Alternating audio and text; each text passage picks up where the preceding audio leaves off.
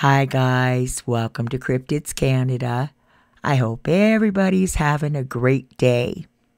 So, um, just so you know, quite often I'll receive uh, an email asking me to forward on information to one of the storytellers, or uh, you know, if they they found something interesting uh, and wanted their information passed on, then I will do the best that I can to do that.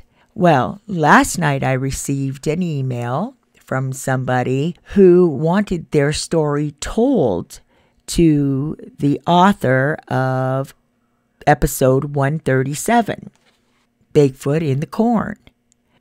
The information that this person wanted passed on was so interesting I asked if I could read it to you guys. At first, they said they weren't comfortable with that, but then relented and said if I keep all the personal stuff to myself. So, I'm going to read that email to you. Keep in mind, it was meant to be private, or sorry, meant to be for the person who wrote the story for our episode 137. So, listen up. Hi, Leslie. I just heard the last episode with the hunter in the cornfield. I would like to talk to him, but if you don't want to give him my email, that's okay. Please tell him that what he heard mooing that turned into a scream may not have been a Bigfoot. I lived on a ranch that was in the wilderness. It was over 77 acres of pasture and forest that had a lake front. The lake is very secluded and people rarely go to it. It was very secluded and was surrounded by Forest Service and state land, so we didn't have neighbors close by. We heard these same loud mooing sounds that would fade into the most horrible screams of rage that made my dogs hide under my bed. Even the pig would burrow in under our house to hide. Once, after a full night of hearing these noises, we got up to find an awful scene in our back pasture. We found a deer carcass in the snow. It was ripped in half. The snow was covered in blood where the poor animal had died. The lower half of the carcass was missing. No drag marks, no fur scattered like when a wolf or a coyote attacked, and no signs of any kind of pack animals. What was in the snow was one set of extremely large canine prints. When I say one set, I mean there was one set. There was no front and rear prints in the snow. It was only two prints walking side by side like a human. The bottom half of the deer was missing, as if, whatever it was, picked up the half of the carcass and walked off with it on its shoulder. My son and I followed the prints off to where we could no longer get through the thick brush. The remainder of the deer was left untouched in the field until it decomposed. Even the crows and the coyotes didn't eat it. I didn't know what it was, but eventually I met Vic Cundiff, and he told me it was most likely a dogman. I eventually moved away from the ranch, and now I live down the road. We continued to hear those horrible noises at least once or twice a month for four years until we moved. The closest neighbors down the road also heard the noises. I don't know if you have time to talk to him again, but if you do, you may want to tell him this. Vic told me that dogmen really like cornfields and are often found in them, the bed he described also sounds familiar to the structure we would find in the thick brush near our lake. He was very lucky if it was a dog man he encountered, because I don't think they're as nice as Bigfoot. Anyway, I heard your episode, and it was the first time I heard someone describe these noises, nearly identical as ours. We heard the moos in our neck of the woods, we don't have cattle nearby, but we do have packs of wolves. We thought it sounded like a deep alpha male wolf howling, and it would last about 10 seconds, only to fade into this deep guttural roar of absolute rage. Now that I think back on it, I suppose if someone had never heard a wolf, it would easily be mistaken for a cow mooing. After about a year of listening to these sounds in the darkness, I called a wildlife biology expert and had him come out at three in the morning and record them. He took the recording to the university, and a professor there put the sounds through the database. He told me the noises did not fall into any category of North American animals. He also said that the lung capacity and decibels had to come from an animal that was the size of an elk or a moose. It was neither. Oh, and by the way, he also believes 100% in Sasquatch, dogmen, and other cryptids. And then she goes on to give a little bit more detail about the town and so on and so forth. So I'm going to stop there because I'm afraid I might give up too much information. But I thought that was so amazing for somebody to just want to pass on some information. I love how you guys are interacting with each other. So thank you so much for taking your time to write that out and want that information passed on to the person who uh, sent in episode 137. Okay, guys, I have time for another one, I think. This one is titled Another Tale from Dale. Hello, Leslie. Tis I again. My experiences vary, and I'll share them in no particular order. This one is about an alien sighting out in our desert in a town named Desert Hot Springs. Years ago, we lived out in Palm Springs, California.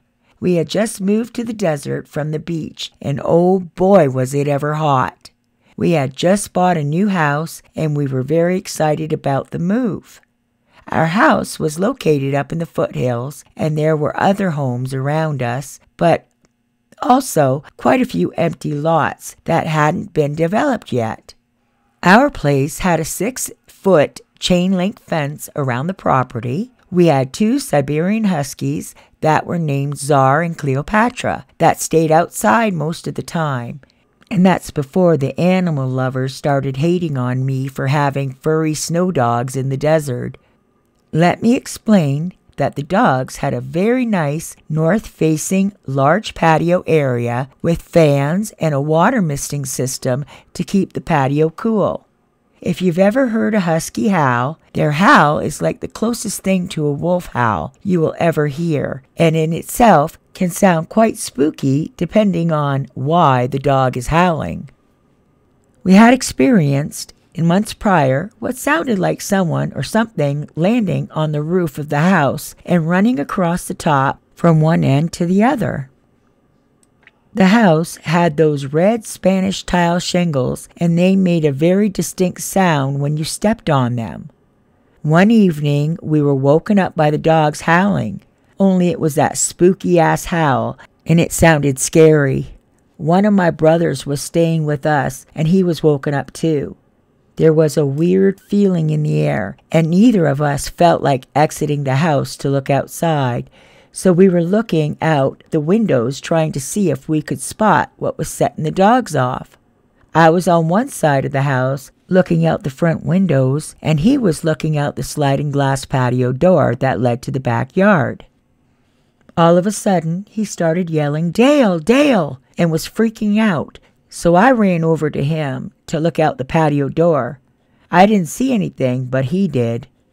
He told me he saw an alien walking up the gravel alley right behind the house, and it was a tall gray alien about five feet tall.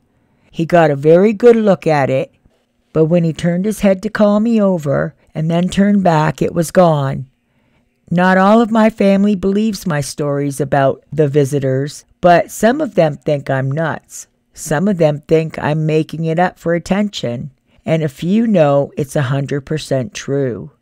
Not that my brother ever doubted me, but that night he learned for himself how real this shit is. Thank you for reading and sharing my wildlife with others. Many of us have been ridiculed and teased. Some of us suffer a form of PTSD from these things. To those of us who have had these things happen to us, giggles, we're not alone. Dale. P.S. I've read and heard a lot of people stating these things are fallen angels. Some are, however, many are not. Even the Bible, that many of us read, teaches us that only a fraction of angels fell with Lucifer. The rest did not.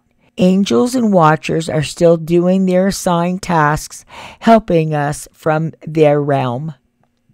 Thank you, Dale. That was another great story. Um, and I hope that you'll keep sharing your stories with us because they uh, definitely do not fail to please, for sure. Okay, guys, I think I have time for another really little one, but while I remember, I'm running out again. So if you guys would be kind enough to send me in your stories, you know I would greatly appreciate it. Okay, on with the next one.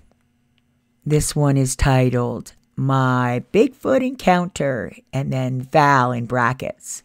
In 1972, my husband and I and our two little boys had just moved from California to Utah. One weekend, we decided to drive to Moab, Utah, and camp for the night. Not far above Moab, we turned into the entrance to Arches National Park and drove around looking at a beautiful red rock formations for about an hour and then headed back out on the access road to continue on to Moab. As we crested the top of the hill and began the long straight slope down the highway, around a quarter of a mile away was a pure black Bigfoot walking upright, crossing the road, and heading down the embankment on the other side. I was speechless and could not believe what I was seeing. This is desert, and everything was pale pink and brown and scrubby bushes that all sort of blended together in a pastel sort of landscape.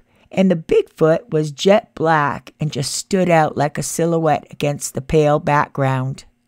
When we got to where it had disappeared down the bank, I asked my husband to please speed up because I was scared it might be hiding and jumping out at us in our little Volkswagen.